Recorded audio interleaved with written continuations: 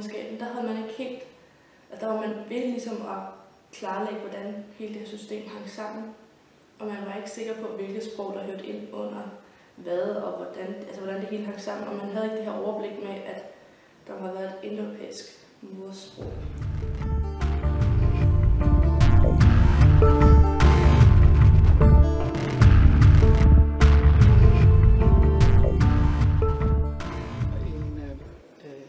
Øh, skrift håndskrift, som øh, indeholder bønder øh, for den zaratustiske religion. Og den har Rasmus Rask købt i Nordindien i omkring 1826. Den har været udsat for, for et lille forlis, øh, da Rasmus Rask skulle forlade Sri Lanka. He, what he wanted to do was to survey all the major languages that he could. And so he received some uh, grant money from, from the king at the time to travel throughout Europe and into India doing this descriptive process of languages. And so he started his journey, went through Europe uh, and described the languages of Northern Europe and I think even into the Balkans. And then he went over into India and um, started describing the Indian languages. In particular, he was interested in Sanskrit. And during his journey, he traveled from Bombay inland over the rivers and uh, land routes up to Benares and up to the, Danish colony of Sirampur. Was sick all the way along. Uh, and then um, from Sirampur he took a boat, was very sick, uh, was barely alive at the time, but recovered on his way on the boat trip from Sirampur down to Tranquebar, which was the major settlement at the time, and we're talking the middle of the uh, 1800s, 1850s, around that time. And all during this time he was collecting and describing language, the language he, he encountered. Not only Sanskrit, but the regional languages that he came in contact with. Developed quickly a fluency in the language so he could communicate with the people and also learn the literature that the languages were written in. Uh, one of his tasks was, of course, I said Sanskrit, and during the during his time in India, he collected manuscripts and uh, brought these manuscripts back with him when he came uh, from his journey in India, and they're now deposited in the Royal Library. And constitute that constituted one of the first collection of Indian manuscripts, primary source materials that we have here in Europe, in the Western world. There is also a, a very interesting uh, uh, uh, work he produced, and it was a descriptive grammar of Sanskrit, one of the earliest descriptive grammars of the language that's available.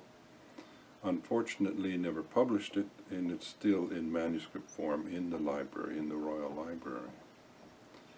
Um, when he traveled from Tranquebar, he was coming back to Denmark, and he made a stop in Sri Lanka, at that time Ceylon, and proceeded to describe the language of Sinhala and collect manuscripts that were written in Pali, which is the oldest language of the Buddhist scriptures, which is related to Sanskrit. It's a kind of a vernacular uh, language close to Sanskrit and collected the earliest palm leaf manuscripts of that language, of the Buddhist scriptures, and brought those back also with his collection of manuscripts to the Royal Library. These became the basis for the early studies of the Pali language and subsequent translations of the early Buddhist scriptures in Pali, and the ongoing project here in Copenhagen of the Critical Pali Dictionary, which is a world-renowned project which is now now ceased, but began in the 1920s and continued over many, many years, which was uh, directly a result of Rasmus Rask's work. So in a way, he set the whole structure and tone for the study of ancient languages here in Copenhagen, and particularly those languages of ancient India. So he was uh, quite instrumental, both in Europe and specifically in Denmark, for bringing Sanskrit in Indian culture alive through its language. Det her er en pali-tekst, altså en buddhistisk, ja, en buddhistisk øh, tekst, skrevet, som er på pali. Men selve bogstaverne, som er skrevet ned, er singalesiske.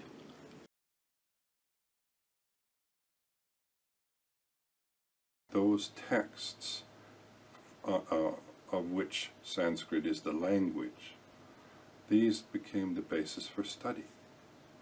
Uh, previous to that, there were very few texts that, that students could study the language from. And his collection became a central basis, a central source for studying the language and, of course, learning more about it and developing a whole study of Indology and Sanskrit studies in Copenhagen. So it was one, one of the earliest centers. Um, Sanskrit was first taught in, in Copenhagen uh, in about 18, I think it was 1850s, early 1850s. So it was right around the time of Rasmus Rask, where the language was first taught here at the university and has been continuously taught at the University of Copenhagen since that time, with a few breaks along the way, but it still continues as a as a discipline study at the university. One of the few still in Europe where this where students can learn Sanskrit at the very early stages of their education.